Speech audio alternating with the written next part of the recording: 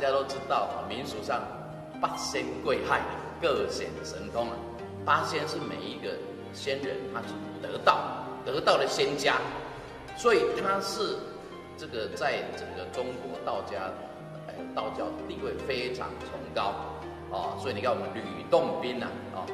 双口吕，吕洞宾啊，那么这是我们道家一个主要的仙人啊，何仙姑啊，汉钟离，张国老，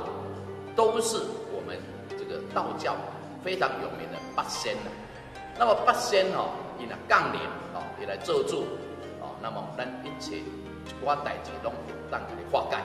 所以这个嘛是因为机会，你看黄大仙庙在香港，它就非常有名，世界各国的游客去到的这个啊香港这个地方，都一定会去看看黄大仙当主神的这个黄大仙庙。那么他就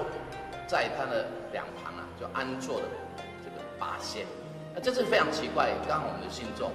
他看到我们这边有黄大仙、蒋太公，他就